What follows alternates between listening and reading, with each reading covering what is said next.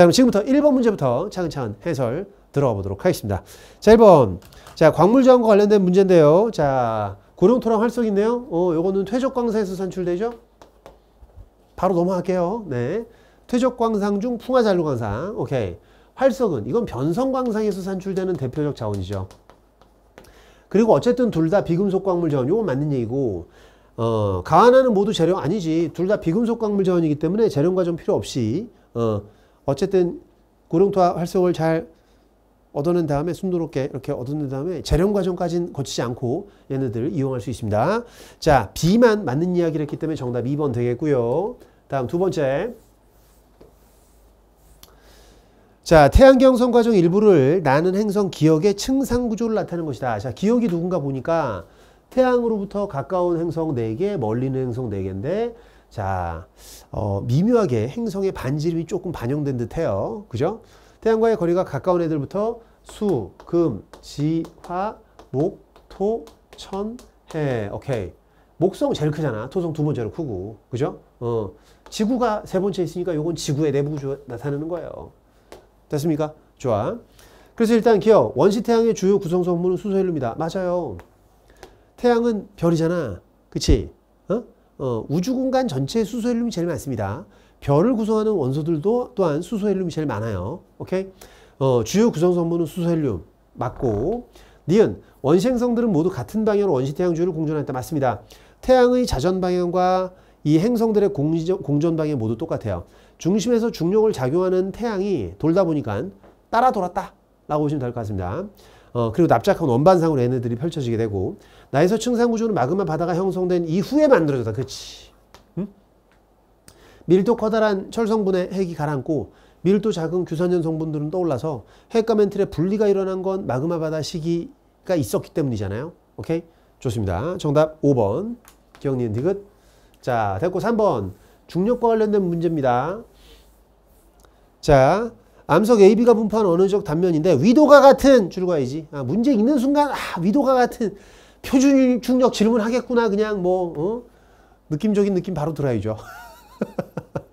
위도가 같다. 오케이. 기억 니은에서 측정한 중력 이상. 그런데 위도가 같으면 표준 중력은 똑같은데 여기는 실측 중력 값이 이만큼 작았던 거고 여기는 실측 중력 값이 그만큼 컸던 거잖아요. 이만큼. 그럼 니은의 지하에는 밀도가 좀 커다란 물질이 들어 있, 있을 것으로 추정되는 오케이? 그렇다면 밀도를 비교함에 있어서는 A보다는 B가 밀도 크다라고 이야기할 수 있죠. 그지? 어. 그러니까 A는 보통의 어떤 평균적인 지하 물질보다는 밀도가 작았기 때문에 기억 지점의 중력 이성이 음의 값을 나타낸 상태. 근데 니은 지점은 그러한 A가 있음에도 불구하고 B 때문에 중력 이성이 플러스로 나타난 상태. 이렇게 보는 게 타당한 해석 되겠죠? 어쨌든 동일한 단진자로 측정한 주기는 실측 중력에 대한 이야기인데요. 실측 중력이 클수록 진자의 주기가 짧아지니 기억보다 니은의 숫자를 더 맞는 얘기 되겠네요. 역시 정답 5번. 다음 갈까요? 음. 다음 4번.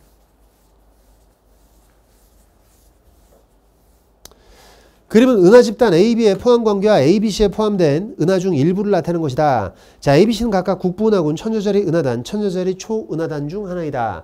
잠깐만, 우리 은하 안드로메다 은하를 포함하고 있는 게 국부은하군이네. 그죠? 그리고 천여자리 은하단. 그리고 얘네들을 포함하는 천여자리 초은하단. 이렇게 들어가지. 자, 우리 알다시피 은하단과 은하군은 포함 관계는 아니에요. 맞지?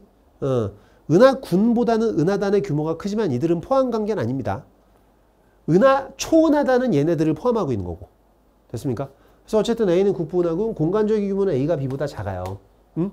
은하단이 은하군보다는 커다란 그룹이에요. 되게 C와 같은 은하 집단이 모여 우주, 우주 거대 구조를 형성하는 거 맞죠? 어? 초은하단들이 쫙 이렇게 어? 쟤네들이 거대, 거대 구조를 어, 형성하게 됩니다. 정답 3번 기억티글. 뺐고. 자 5번. 자 직교니콜에서 관찰한 안산함과 화강암. 좋아. 직교니콜이라고 했기 때문에 다색성은 그냥 틀린 거야. 어, 다색성을 보려면 개방니콜이 돼야지. 맞죠? 어, 되게 흔하게 자주 나왔던 질문 패턴 중에 하나입니다.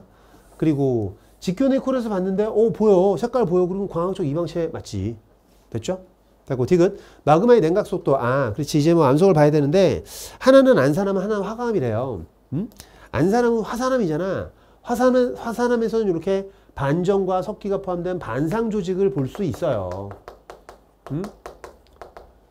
예, 세립질의 어떤 세립질 조직을 나타내는 화산암도 있지만 반상 조직을 나타내는 화산암도 있습니다 안산암 얘는 전체적으로 조립질 조직인 화강암 그지?